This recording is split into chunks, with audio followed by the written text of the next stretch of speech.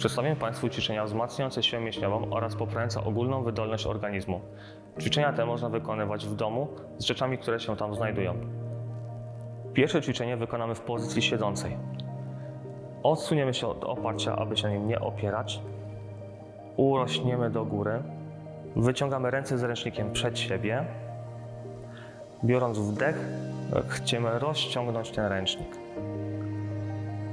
Przy wydechu ustami rozluźniamy mięśnie i powtarzamy.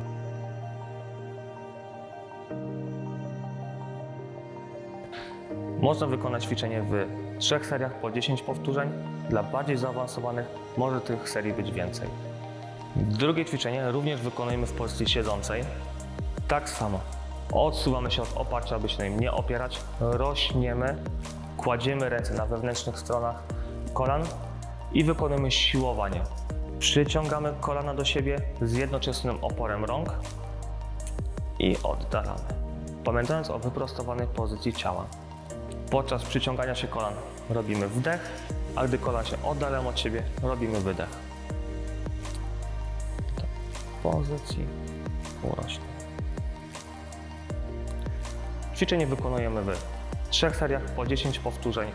Dla bardziej zaawansowanych tych serii może być więcej. Trzecie ćwiczenie wykonujemy przy ścianie.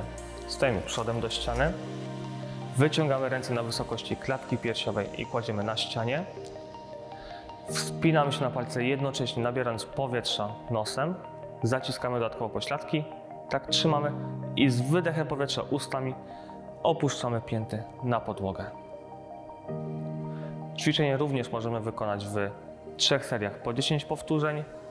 Do tego potrzeba tylko kawałek ściany, na którym nie ma żadnych obrazów ani innych elementów. Ćwiczenia, które Państwu zaprezentowaliśmy, pomogą Państwu o wiele szybciej wrócić do formy i kondycji sprzed zachorowania.